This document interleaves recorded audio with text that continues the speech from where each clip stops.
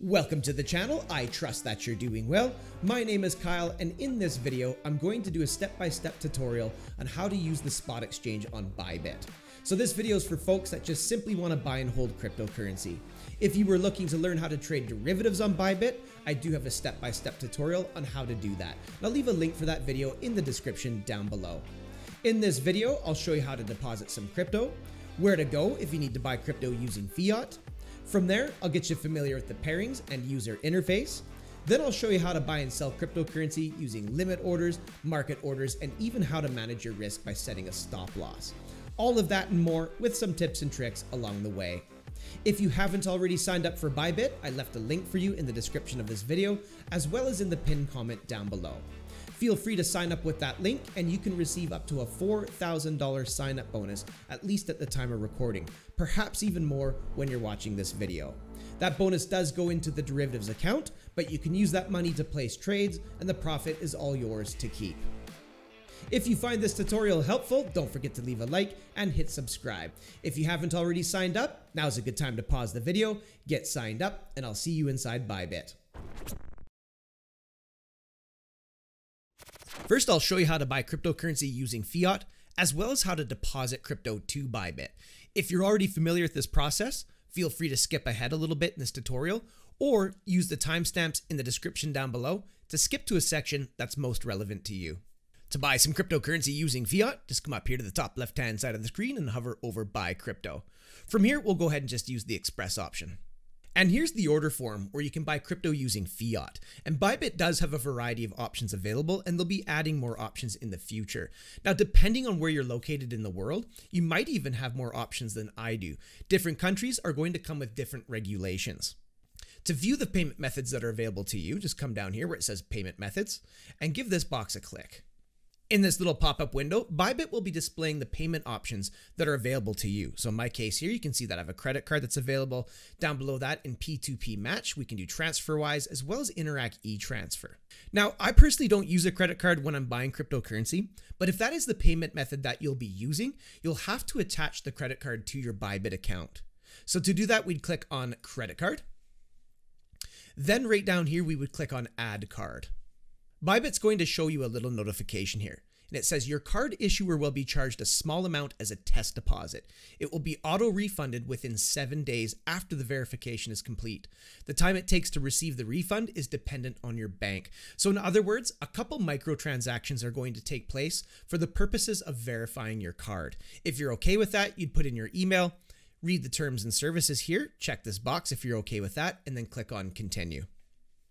The next step is simply putting in your email as well as your credit card details and then click on validate card and proceed. Once the verification process is complete, your card will be connected to your Bybit account. So now we can head back over here to the express option like so. And now we're back to the order form. Once your card is connected, it's as simple as coming up here, type in the amount you wish to spend. So if we wanted to do $200, down below, Bybit will be showing you what you'll be receiving. In this case here, we're set to Tether, but we can click where it says USDT and we can select a cryptocurrency from this drop down menu here. But I'll just go ahead and leave that on Tether.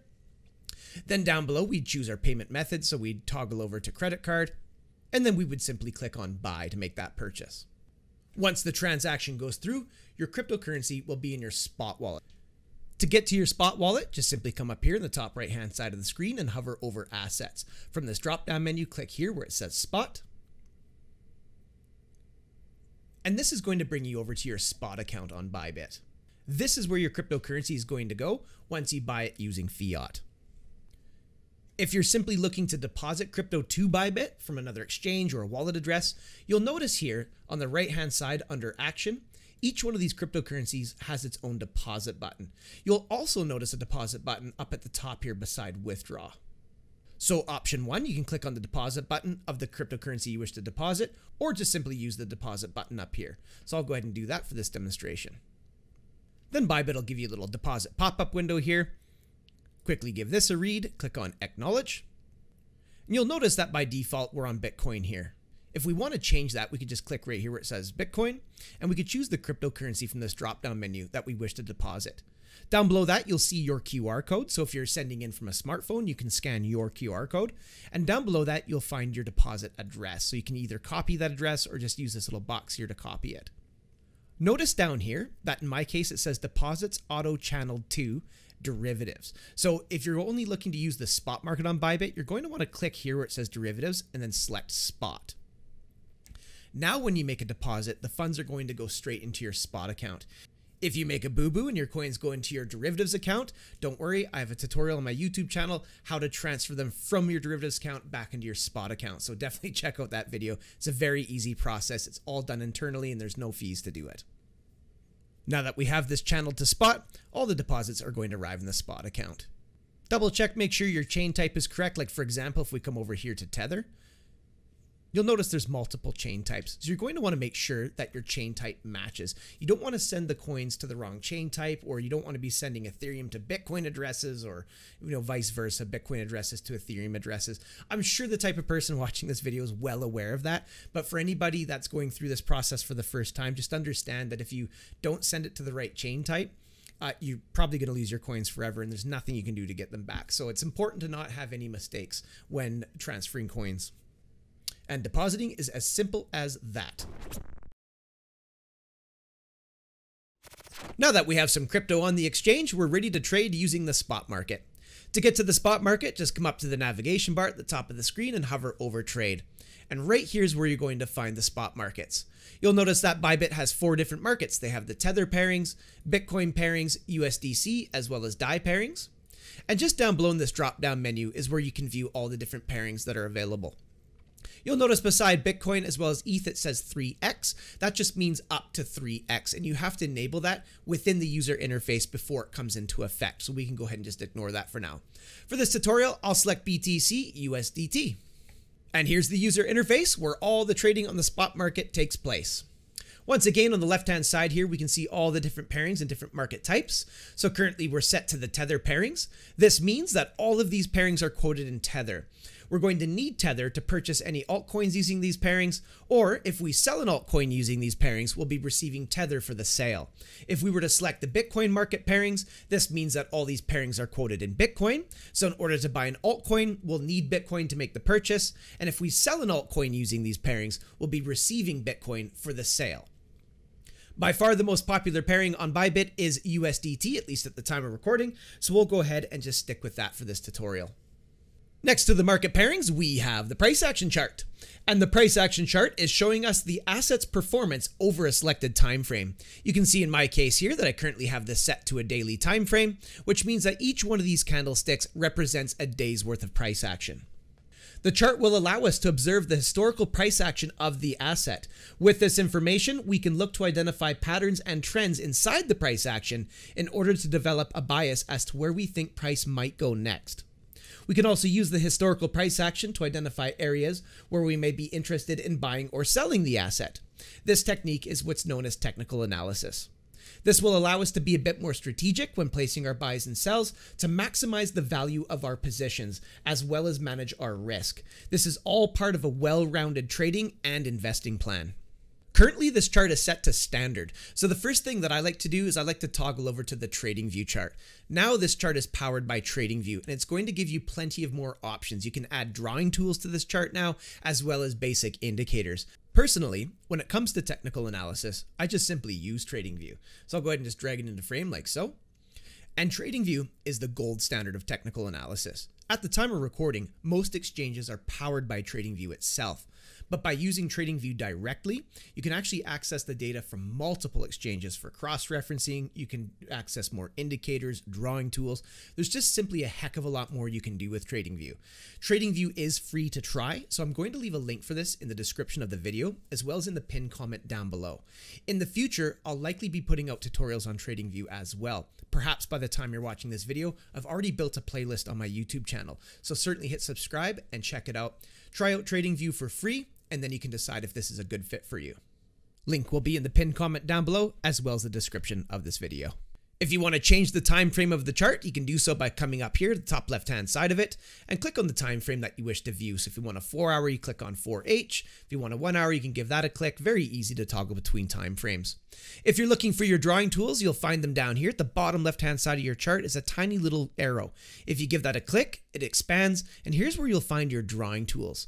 Now, beside each one of these icons is a tiny little arrow. If you give that a click, it expands into a drop-down menu where you'll find a ton of more drawing tools, such as horizontals, all kinds of stuff going on in there. So definitely take some time play around with that and add whatever uh, whatever drawing tools that you like to use if you're looking to add an indicator you just simply click right here on the indicators tab and because this is powered by TradingView, now you have access to a whole bunch of basic indicators here. So if you were searching for one specifically, like the RSI, you could just type that in like so.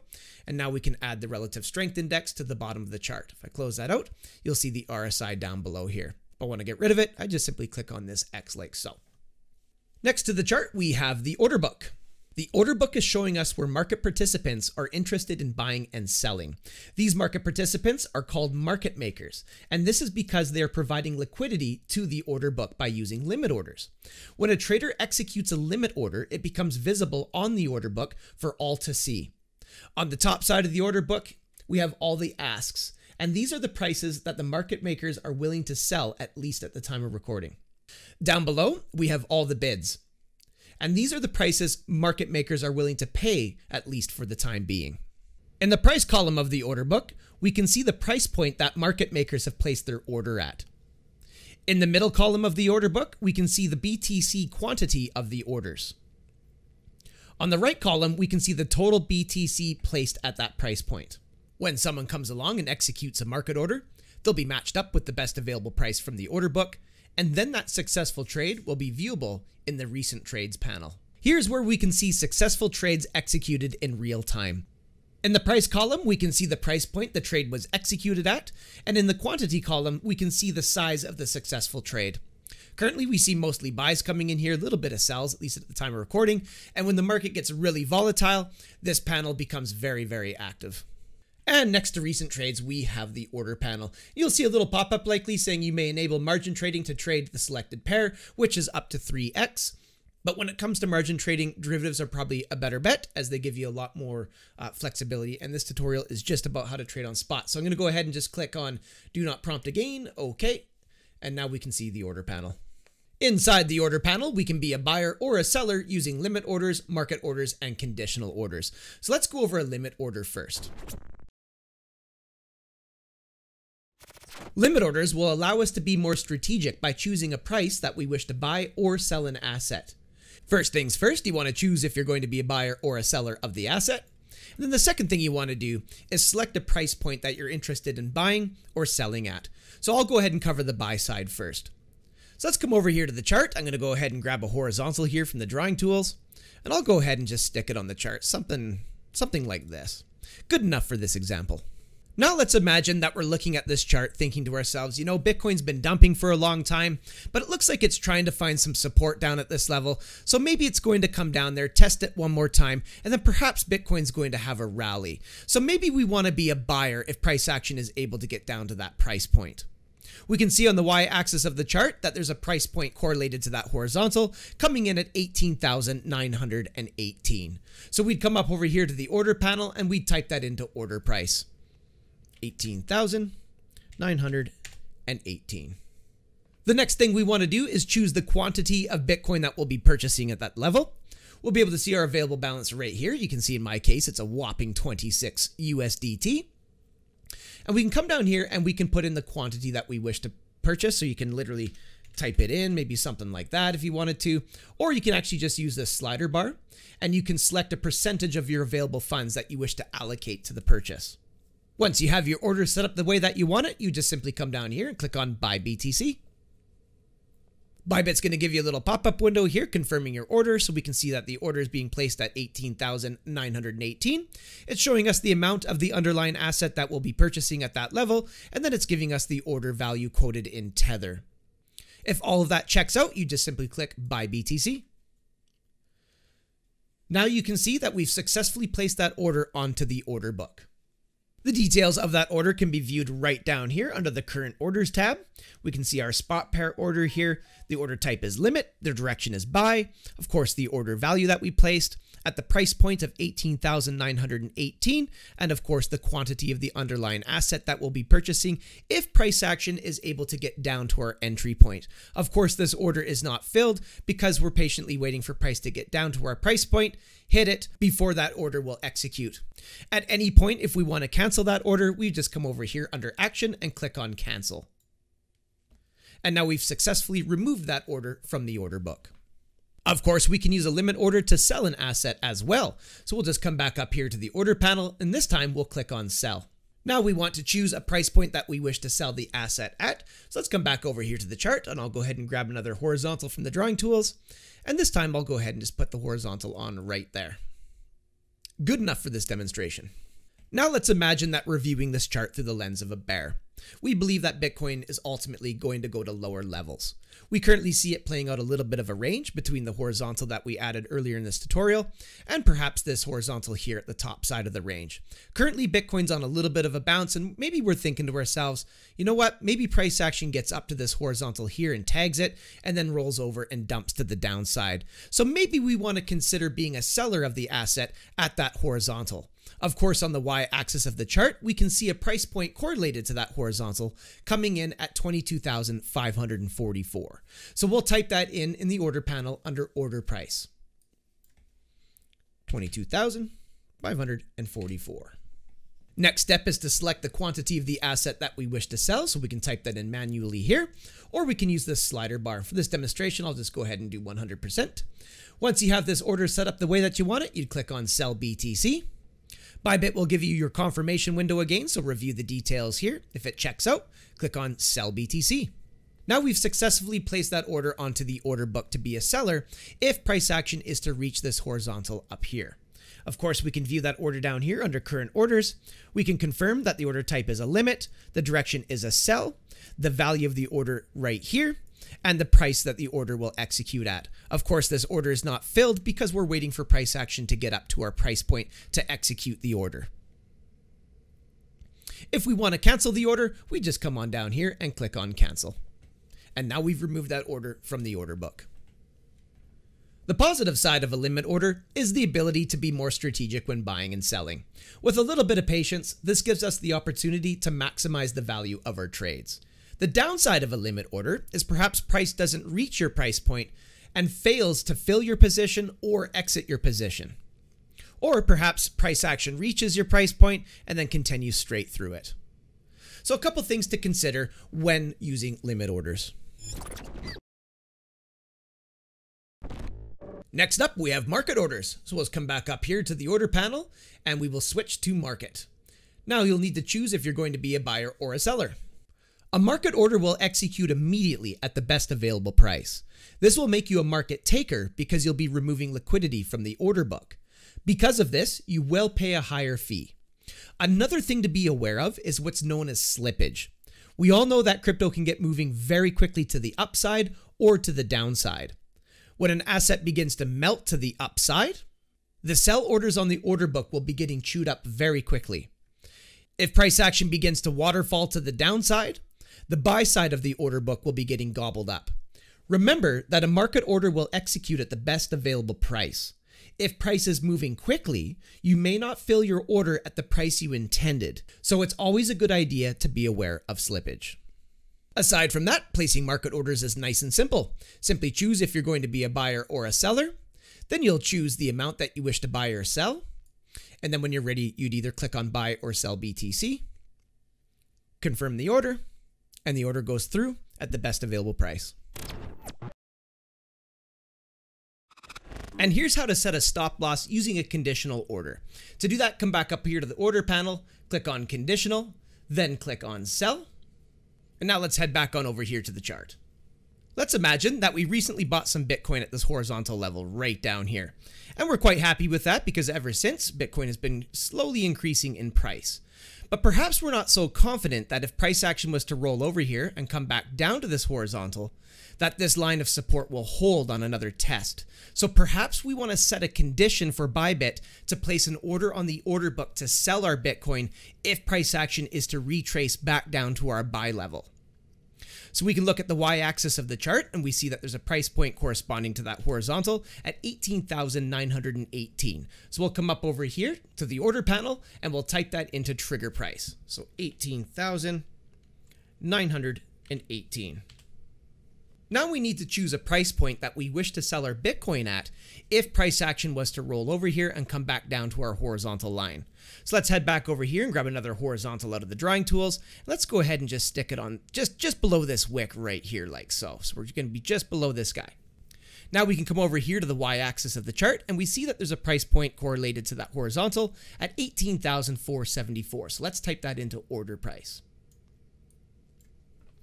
18,000. 474. And we'll get rid of that 9 there. Perfect. Now we need to choose the amount of the asset we wish to sell if these conditions get met, and we'll just go ahead and use this slider bar, and I'm just going to go 100% for this demonstration. Once we have this looking the way that we want it, we would come down here and click on Sell BTC. Bybit's going to give us a little pop-up window here to confirm the details of our order. So we can see our trigger price of 18,918. So if price comes down and touches that level, Bybit's going to place an order onto the order book at 18,474. Of course, we see the quantity of the underlying asset that we'll be selling, and then we can see the order value of that asset right here. If all this looks good, you just simply confirm sell BTC now we've placed that conditional order on the order book. So if price action comes down and hits this line and keeps going, we'll be selling our position right here and get out of the way before any more damage gets done to the asset. Of course, use your own creativity with that, do your own technical analysis. Obviously, I'm not doing super advanced TA here as I'm just trying to demonstrate how this platform works, but that's just one example to hopefully inspire some of your own ideas.